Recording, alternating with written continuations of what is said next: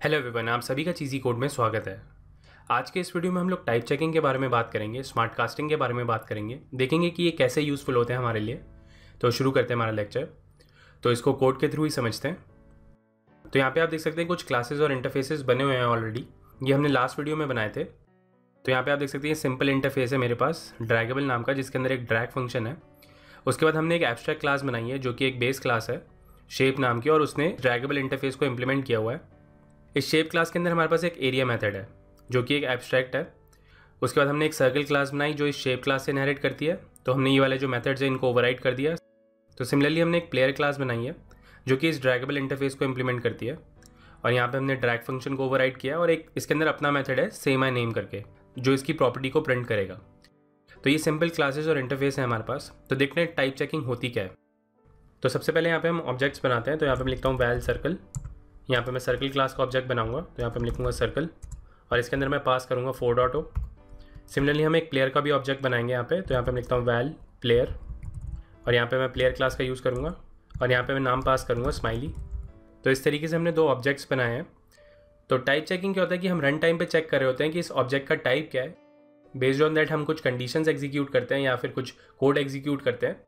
तो यहाँ पे मैं एक इफ़ कंडीशन लगा के दिखाता हूँ तो यहाँ पे मैं लिखता हूँ इफ़ सर्कल अब टाइप चेकिंग के लिए हमारे पास एक ऑपरेटर है इज़ ऑपरेटर जिसका हम यूज़ करेंगे। तो यहाँ पे मैं लिखता हूँ इज़ सर्कल तो ये हमारा ऑब्जेक्ट है और ये हमारी क्लास है। तो इज़ ऑपरेटर का यूज़ करके हम चेक करते हैं कि जो हमारा ऑब्जेक्ट है, वो सर्कल क्लास का है। तो यहाँ पे मैं प्रिंट लाइन लगाता हूँ और यहाँ पे मैं लिखूँगा दिस इज़ सर्कल और इसको रन करके दिखाता हूँ। तो यहाँ पे आप आउटपुट देख सकते हैं दिस इज़ सर्कल आ गया है। तो अब आप कहेंगे कि ये तो सर्कल का ही ऑब्जेक्ट था, इसको चेक करने की क्या ज़रूरत है? तो क्या होता है कि कुछ रन टाइम पे ऐसी सिचुएशंस आती हैं जहाँ पे हमारे पास कुछ एरे ऑफ़ ऑब्जेक्ट्स होते हैं। तो हम ऑब्जेक्ट का टाइप आइडेंटिफाई करते हैं कि वो किस टाइप का है और बेस्ड ऑन दैट हम कुछ एक्शंस परफॉर्म करते हैं।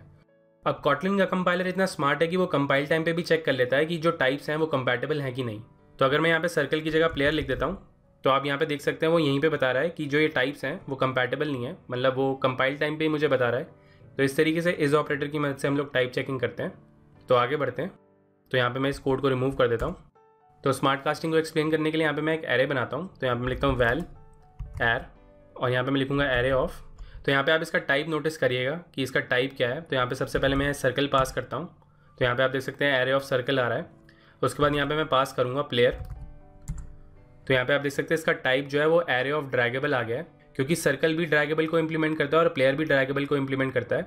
तो कॉटलिन ने अपने आप आइडेंटिफाई कर लिया कि इसका टाइप क्या है एरे ऑफ़ ड्रैगेबल तो इसको मैं भी एक्सप्लिसिटली डिफाइन कर देता हूँ। तो ये मैंने एक एरे बनाया है, जिसके अंदर हमारे पास दो ऑब्जेक्ट्स हैं, एक सर्कल का ऑब्जेक्ट और एक प्लेयर का ऑब्जेक्ट है। तो इस पर मैं एक लूप लगाता हूँ तो यहाँ पे मैं लिखता हूँ फॉर ओ बी जे इन एर तो सबसे पहले इसके अंदर मैं टाइप चेकिंग करता हूँ तो यहाँ पे मैं लिखता हूँ O B J is circle अब क्योंकि मुझे मालूम है कि इसके अंदर सिर्फ़ दो ही ऑब्जेक्ट्स हैं, एक सर्कल का ऑब्जेक्ट और एक प्लेयर का ऑब्जेक्ट है तो यहाँ पे मैंने एक कंडीशन लगाई है if O B J is circle तो वो क्या करेगा? ओ बी जे डॉट तो यहाँ पे आप देख सकते हैं जो हमारा रेफरेंस है वो तो ड्रैगेबल का है बट यहाँ पे जितनी भी हमारे पास प्रॉपर्टीज़ और मेथड आ रही हैं, वो सर्कल क्लास की आ रही हैं। तो यहाँ पे स्मार्ट कास्टिंग वर्क कर रही है।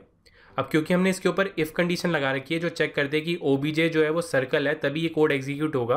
तो कॉटलिन ने यहाँ पे स्मार्ट कास्टिंग कर दी है, और यहाँ पे ओ को स्मार्ट कास्ट करके इसको सर्कल बना दिया है। तभी यहाँ पे आप देख सकते हैं जितने भी हमारे पास एरिया मेथड है रेडियस प्रॉपर्टी वो यहाँ पे आ रही है। तो यहाँ पे मैं इसका एरिया मेथड कॉल करके दिखाता हूँ। तो यहाँ पे मैं इसके आगे प्रिंटर लगा देता हूँ।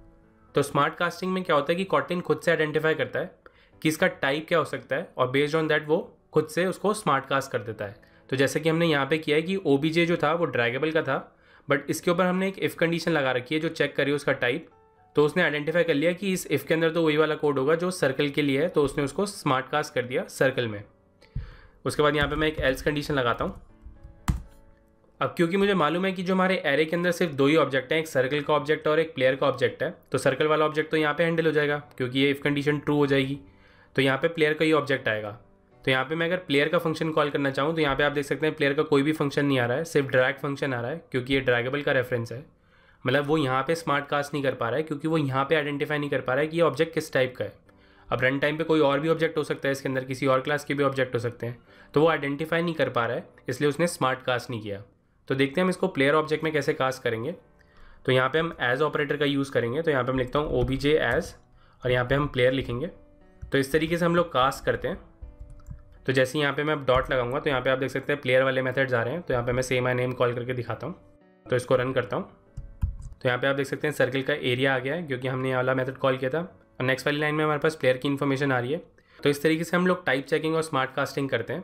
तो एक और सीनेरियो दिखाता हूँ। तो यहाँ पे मैं एक क्लास ऐड कर देता हूँ अभी जल्दी के लिए टेस्ट नाम की, और यहाँ पे इसका ऑब्जेक्ट बनाता हूँ। तो यहाँ पे आप देख सकते हैं मुझे एरर दे रहा है, क्योंकि यहाँ पे मैंने एक्सपेशली डिफाइन किया हुआ है कि सिर्फ़ ड्रैगेबल वाले ही आएँगे बट टेस्ट क्लास ने कोई ड्रैगेबल इंप्लीमेंट नहीं किया है। तो यहाँ पे ये एरर दे रहा है तो इसको मैं यहाँ से रिमूव कर देता हूँ। तो यहाँ पे आप देख सकते हैं इसका टाइप जो है वो एरे ऑफ़ एनी है, क्योंकि जो एनी है वो सबकी सुपर क्लास होती है, इसलिए यहाँ पे एरे ऑफ़ एनी आ रहा है। तो इसको रन करके दिखाता हूँ। तो यहाँ पे आप देख सकते हैं एरर आ गई है क्लास कास्ट एक्सेप्शन की। तो क्योंकि हमने यहाँ पे क्या किया है कि ऑब्जेक्ट को पहले प्लेयर पे कास्ट किया है, उसके बाद इसका फ़ंक्शन कॉल कर दिया। अब क्योंकि जो हमारा टेस्ट का ऑब्जेक्ट है, उसको तो हम प्लेयर में कन्वर्ट नहीं कर सकते।